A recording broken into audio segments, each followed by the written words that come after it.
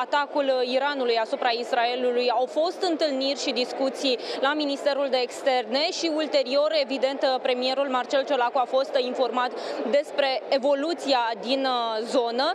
De asemenea, știm că în momentul de față nu există cereri pentru repatrieri uh, din uh, zonele respective. De ce? Pentru că vorbim și de un spațiu aerian deschis, ceea ce înseamnă că în această perioadă nu se pune problema de așa ceva, dar evident, dacă este cazul, dacă se cere, Ministerul de Externe este pregătit pentru a interveni. Însă, ne uităm puțin ce se întâmplă și în cazul premierului, pentru că vă spuneam că a fost informat în toate aceste zile, ceea ce este normal, pentru că am văzut și primele reacții pe care le-a avut încă de uh, uh, sâmbătă, încă de uh, duminică dimineață premierul. De asemenea, știm că toate, toate aceste discuții au loc și în contextul în care se pregătește mâine să plece. Nu se pune încă problema pentru anularea acestei vizite pe care o are, însă la Ministerul de Externe, la celelalte ministere și miniștri cu care urmează să meargă premierul uh, în această vizită oficială, se discută și despre ceea ce se va întâmpla. Vom vedea în orele următoare care va fi evoluția și de asemenea vom vedea care va fi până la urmă decizia premierului dacă își va continua această vizită pe care o are programată mâine. Emma, îți mulțumesc foarte mult pentru toate explicațiile. Acum, Israelul este hotărât să răzbune atacul fără precedent al Iranului, dar nu a hotărât încă momentul sau modul în care va riposta. Un răspuns va exista cu siguranță, iar Teheranul va plăti un preț la momentul potrivit. Asta potrivit reprezentantului opoziției în cabinetul de război. Sunt concluziile unei ședințe de ore bune, în urma căreia armata israeliană a fost trimisă la treabă să vină cu variante de contraatac în momentul acesta. Pe de altă parte, potrivit presei americane, implicarea Statelor Unite ar fi fost una decisivă decisivă. Joe Biden l-ar fi convins pe Netanyahu să renunțe la o ripostă imediată. De altfel, marile putere au cerut la unison prudență pentru a evita o escaladare a conflictului în Orientul Mijlociu. Over the last few hours, we approved operational plans for both offensive and defensive action. We will continue to protect the state of the state of Israel and together with our partners, we will continue to build a more secure and stable future for the entire Middle East. Și în paralel, doamnelor și domnilor, Iranul spune că s-a apărat în fața amenințării israeliene, de fapt. Este motivul pe care l-a dat pentru atacul furibund în ședința de urgență a Consiliului de Securitate al ONU. Ba chiar a dat vina pe Națiunile Unite că nu au luat măsuri ferme ca să condamne atacul israelian asupra ambasadei din Damasc. În aceste condiții, Republica Islamică Iran nu a avut altă opțiune și am încheiat citatul aici. Asta a declarat ambasadorul iranian. Acesta a precizat că țara sa nu dorește o escaladare, dar că va răspunde la orice amenințare sau agresiune. În aceeași reuniune, ambasadorul Israelului a cerut impunerea tuturor sancțiunilor posibile împotriva Iranului. Și între timp, Teheranul a dat publicității imagini cu momentul în care a dat ordinul de atac. Allah. Allah.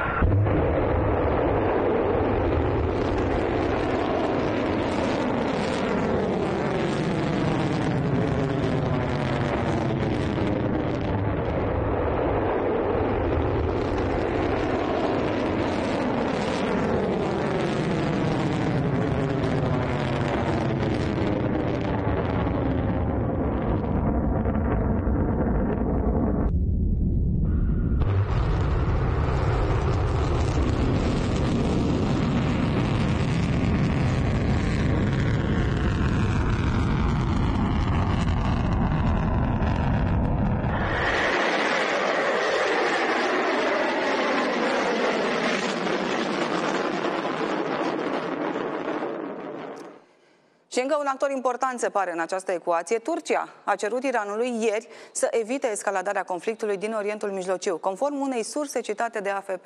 Ar fi primit răspunsul că atacurile nu vor continua în condițiile în care Israelul nu va riposta. Turcia a fost una dintre țările care ar fi fost informată cu 72 de ore înainte despre atacul din noaptea de sâmbătă spre duminică. O informare au primit și Statele Unite, evident, în ziua operațiunii.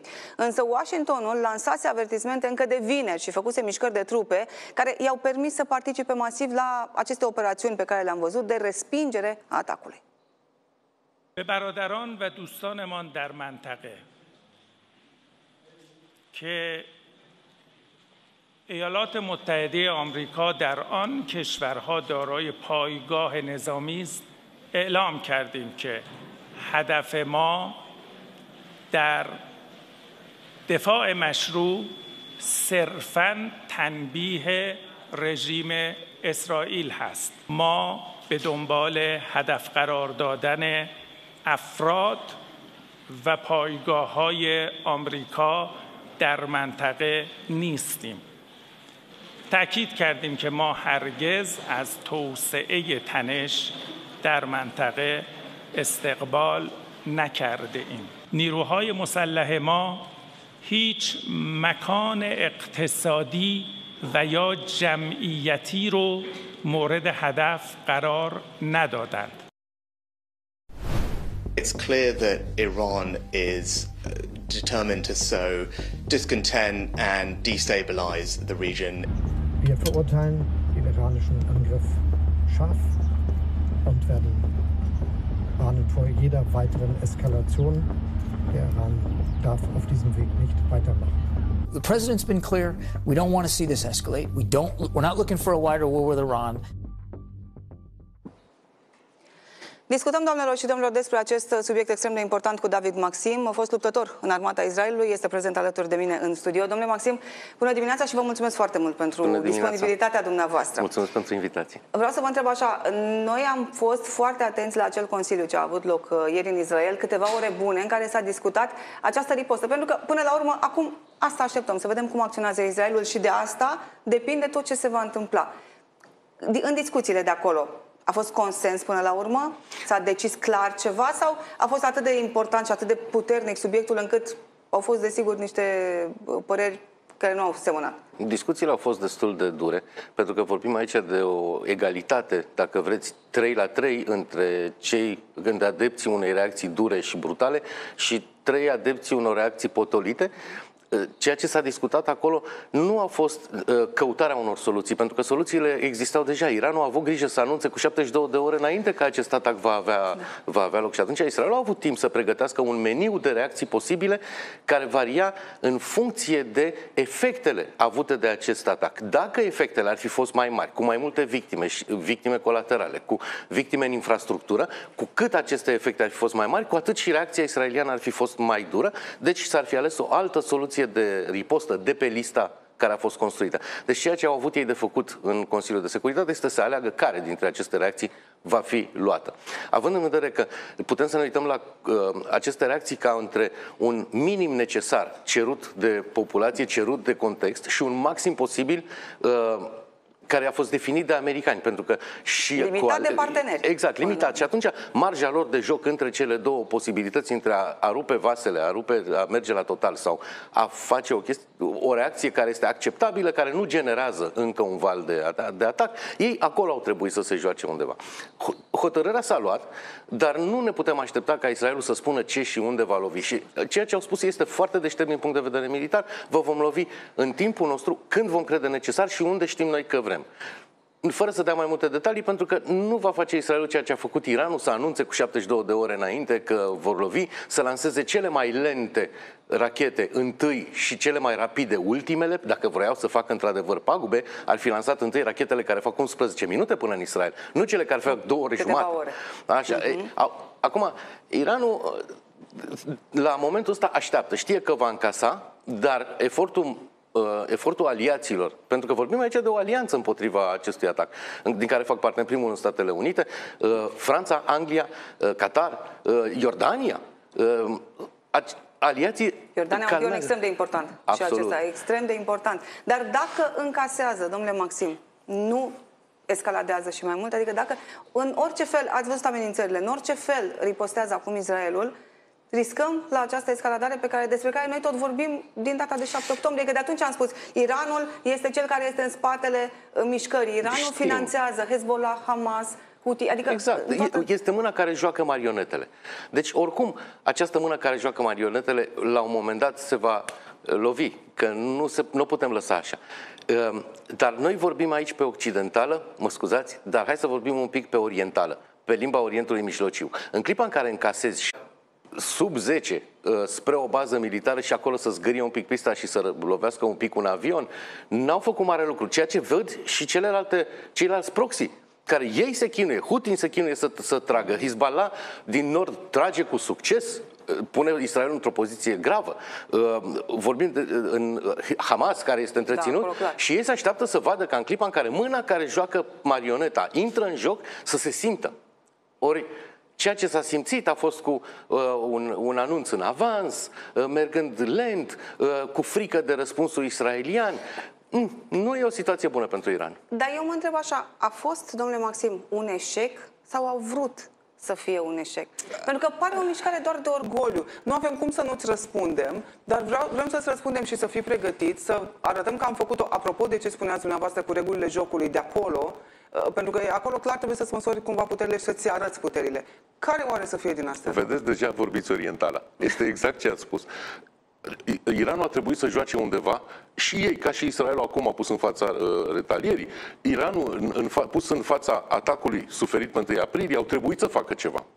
Acum, ei puteau să încerce să facă mai mult, ce, o, o, o acțiune care ar fi rupt regulile jocului și atunci ar fi, ar fi necesitat o, o intervenție brutală, directă a, a Israelului, sau să facă ceva ca să se cheme că au făcut.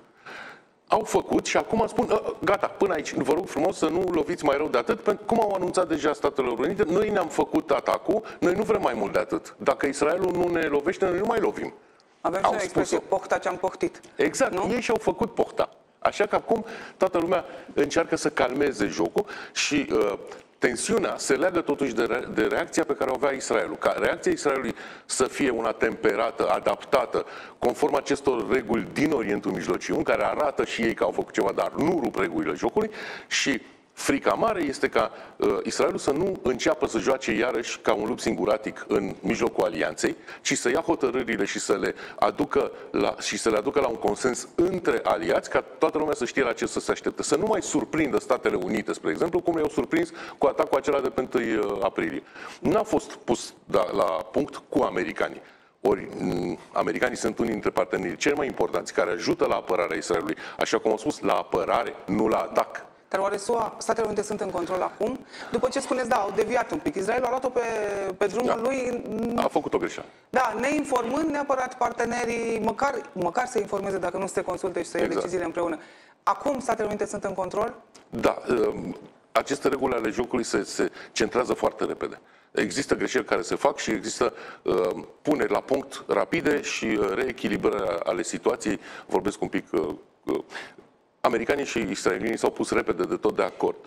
Dovada este conversația între uh, Joe Biden și uh, Bibi Netanyahu, care a fost una dintre primele după mai multe săptămâni în care cei doi nu și-au vorbit. Poate că n-a fost nevoie, poate că nu, n-au vrut. De data asta a fost nevoie și au trebuit și au făcut-o. Deci imediat se, se realiniază lucrurile. Gândiți-vă totuși că uh, Uh, consecințele deciziilor luate de aceste două persoane sunt de o importanță crucială pentru întreaga lume. Nu vorbim aici de un conflict care poate să izbucnească în, în Orientul Mijlociu din lucruri mult mai simple și mai triviale decât ne-am putea imagina, dintr-o reacție greșită a unuia dintre parteneri și atunci greutatea acestor decizii este enormă. Deci nu poți să le iei uh, ușor. Și clar ne temem de asta cu toții. Vreau să vă întreb scurt pe final, domnule Maxim, pentru că spuneați, nu o să spună de sigur Israelul când, cum, pregătește riposta. Ne așteptăm în săptămâni, în ore. Mă gândesc așa un, un interval de timp, cam cum... Am... Maxim o săptămână.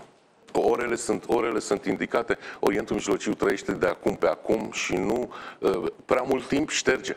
Deci uh, nu se va lăsa prea mult timp înainte ca Israelul să facă ceva. În schimb, reacția poate să fie, spre exemplu, o reacție dură contra Hezbollah, care oricum și-o merită, și atunci mm-hmm. să fie pusă... Deci nu v-am lovit pe voi, dar... Exact. V-am lovit pe voi în proxy, nu pe voi în Teheran. Și asta poate să fie o strategie discutată între Netanyahu și Joe Biden. Absolut. Tocmai pentru că Joe Biden face presiuni să nu, se, să nu escaladeze conflictul și de altfel mai Dacă americanii vor fi de acord, probabil că Iranul va rămâne fără capacități militare uh, în foarte scurt timp, adică toate silozurile de rachete, depozitele, fabricile de, de drone Shahid mm-hmm. 136, se pot fi lovite. Întrebarea e dacă asta vrem. Diferența între a fi deștept și a avea dreptate. Deci acum Israel trebuie să fie deștept. Dreptate are. Da. Vă mulțumesc foarte mult, domnule Maxim, pentru explicații, pentru discuție. Cu siguranță avem timp în zilele acestea, așteptând acest atac și urmărind și care vor fi reacțiile după el, să discutăm despre, și despre implicațiile pentru întreaga lume, că desigur există. Cu mare mulțumesc, drag. mulțumesc tare. Eu vă mulțumesc. Și în acest context, doamnelor și domnilor, președintele Joe Biden le-a mulțumit militarilor americani care au ajutat Israelul să se apere de cele 350 de drone și rachete lansate de Iran în atacul fără precedent despre care am discutat până acum de sâmbătă noapte. Potrivit comandamentului Statelor Unite, responsabil uh, de Orientul Mijlociu, americanii au distrus cu succes peste 80 de drone și cel puțin 6 rachete balistice. Hey, you guys are the best in the whole damn world, man. Whole world. No, that, that's not that's not hyperbole, man. Both you, both these squadrons, you're incredible, absolutely incredible. You made an enormous difference, potentially saving a lot of lives, and thanks to extraordinary skill, the United States helped Israel take down nearly all those incoming missiles. You're, you're remarkable. Mr. President, we thank you for your words. This is Lieutenant Colonel Curtis Culver, 494th Fighter Squadron Commander, and we're mighty proud to have our part in that contribution, sir. You're just incredible. I just, I, I apologize for my enthusiasm. I'm supposed to be much more. Not at all, sir. But I'm Proud to be an American. well, we tell you, you make me proud, and I, I'm not just saying it. I swear to God, you're incredible. Thank you, Mr. President. Și în acest context al tensiunilor uriașe din Orientul Mijlociu, oficialii români dau asigurări că țara noastră nu ar putea fi luată prin surprindere în cazul unui eventual război. Asta spune cel puțin președintele PNL Nicolae Ciucă într-o declarație televizată. Haideți să vedem și noi. Este foarte greu, nu se mai realizează surprinderea strategică. Deci să ne trezim dintr-o dată că România este uh, atacată peste noapte și nu există timpul necesar să se uh, uh, formeze uh, pachetul de forțe de răspuns este imposibil. Aproape imposibil, ca să nu fim categorici. Uh, România, ca membru Alianței Nord-Atlantice, beneficiază de toate garanțiile de securitate nu întâmplător, în momentul de față, pe teritoriul României avem uh, uh, trupe uh, NATO, avem uh, uh, uh, mijloace uh, de răspuns aerian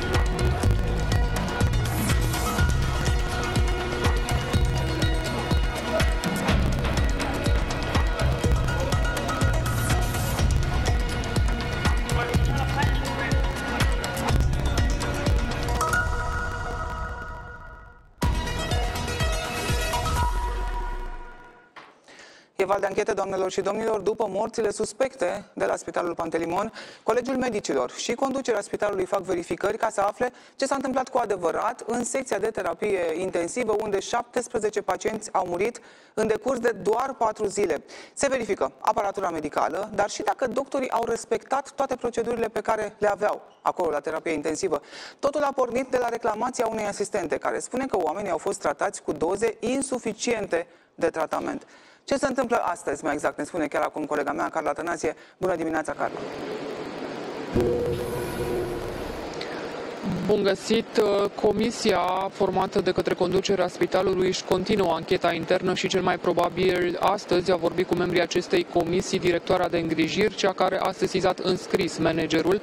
De asemenea, Colegiul Medicilor București așteaptă astăzi copiile foilor de observație ale celor 17 pacienți decedați în perioada indicată de asistentă, respectiv 4-7 aprilie pentru a vedea cine sunt medicii care au fost de gardă în acea perioadă, pentru ca ei să își spună punctul de vedere în legătură cu toate aceste acuzații. Fiecare foaie de observație va fi analizată, se vor uita medicii ce cantitate de tratament scrie în foaie că a fost administrată și vor compara cu ce este pe aparate, pe injectomate. Mai exact și de asemenea aceste doze vor fi coroborate cu starea de sănătate a pacienților. După ce vor exista toate aceste informații puse cap la cap, dosarul va merge către Comisia de Disciplină a Colegiului Medicilor, care poate să dea un verdict.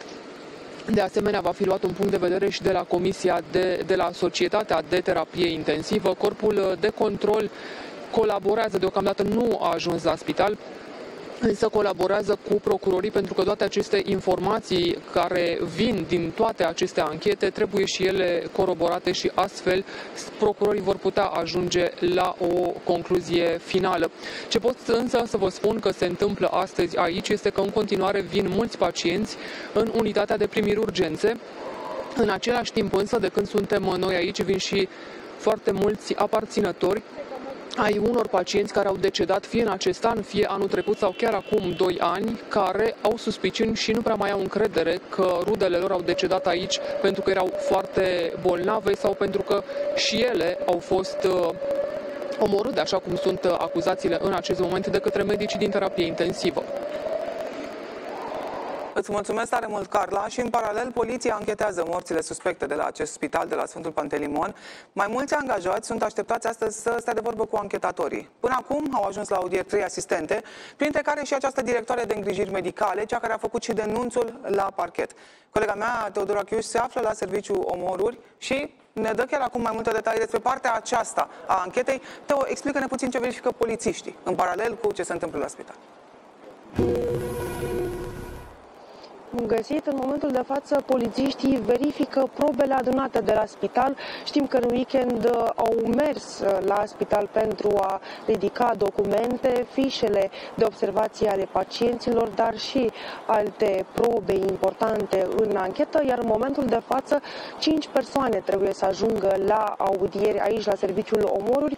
Două asistente au ajuns deja, se află în fața anchetatorilor, dau explicații, iar uh, procurorii vor să știe dacă aceste persoane au observat un comportament neobișnuit și mai exact dacă ar fi văzut momentul în care li s-ar fi administrat mai puține medicamente acestor persoane care au murit. Rămâne acum uh, ca procurorii să analizeze toate probele pe care le au și să um, înainteze uh, cu concluziile anchetei pe baza acestor declarații.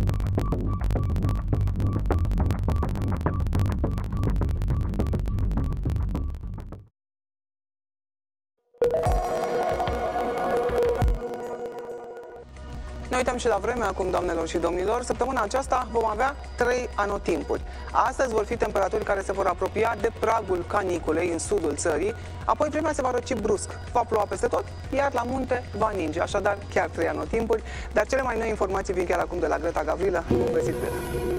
Bun găsit! Într-adevăr, astăzi va fi cea mai caldă zi de la începutul anului. În sudul țării se vor atinge chiar 34 de grade Celsius la umbră. Ne vom apropia astfel și de temperatura record pentru luna aprilie și anume 35,5 grade Celsius. După amiază vor fi însă perioade cu ploi de vară în extremitatea de nord a teritoriului, iar vântul va sufla cu 50 de km pe oră prin nord-vest, în centru și în estul teritoriului. În capitală va fi o, o zi extrem de călduroasă, maxima va atinge 33 de grade Celsius în centrul orașului, o valoare cu 14 grade Celsius peste normalul perioadei. Cerul va fi mai mult senin, iar vântul va sufla slab și moderat. La munte vor fi temperaturi de vară, iar în a doua parte a zilei vor fi averse și fenomene electrice în masivele nordice. Vântul va sufla cu peste 70 de km pe oră pe creste, apoi se va răci și vremea, vor fi vijelii, iar noaptea vor fi nisori și lapovițe. Eu mă opresc aici, revin mai târziu cu mai multe informații.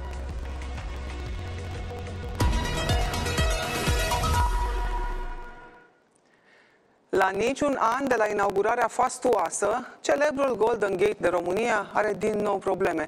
Este vorba, desigur, uh, că v-ați prins deja despre podul peste Dunăre de la Brăila, care are iarăși nevoie de reparații și este a treia asfaltare în doar 9 luni. Colega mea, Dana Costache, știe ce s-a întâmplat de această dată. Te urmărim, Dana. Bun găsit! Pe sensul de mers Tulcea-Brăila se circulă pe o singură bandă. Banda 1 de circulație este complet închisă pentru că se intervine cu lucrări de reparație. Așadar, aproape toată, pe toată lungimea podului, asfaltul este decopertat, muncitorii sunt la treabă. Este a treia intervenție de acest gen din ultimele 9 luni.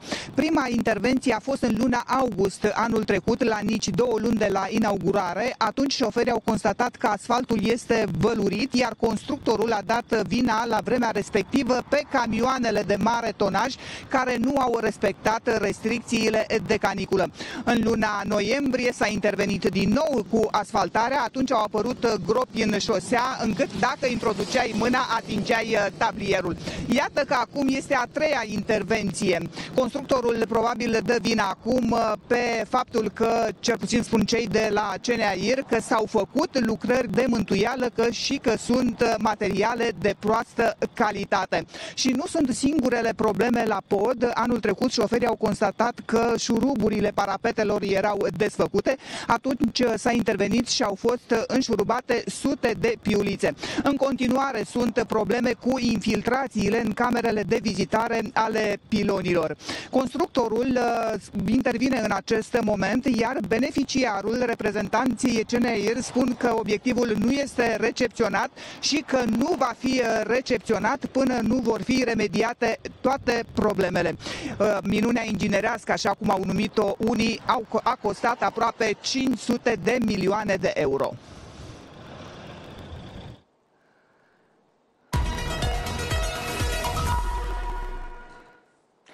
Multe controverse, doamnelor și domnilor, și necunoscute, cu doar o zi înainte ca partidele să-și depună listele pentru alegerile locale.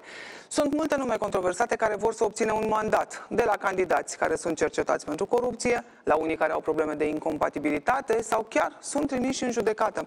Ne dă mai multe exemple și ne explică situația colega mea Elena Crângașu despre cine este vorba Elena. Bună dimineața!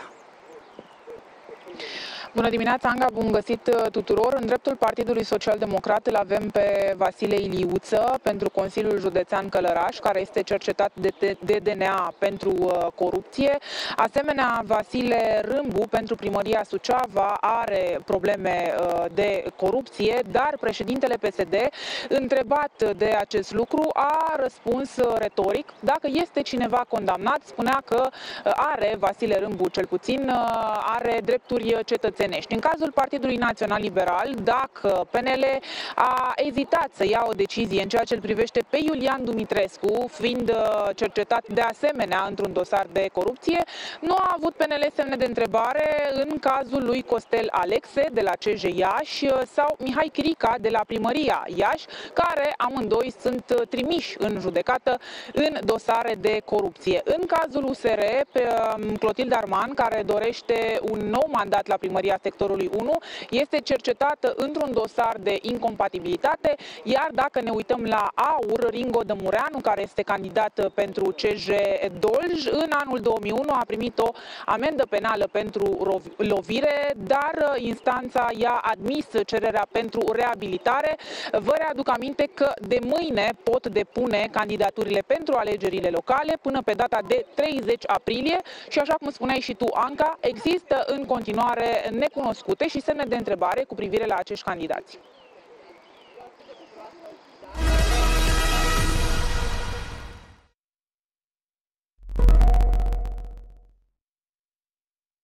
Aspiratorul puternic de la Dyson spală pardoselile dure, folosind continuu apă curată de la început până la sfârșit. Un singur aparat pentru întreaga locuință. Aspiratorul puternic de la Dyson spală acum pardoselile dure. Cumpărați direct de la Dyson. Eu știu că la Fashion Days ai retur gratuit în Easybox și bani înapoi în 30 de minute.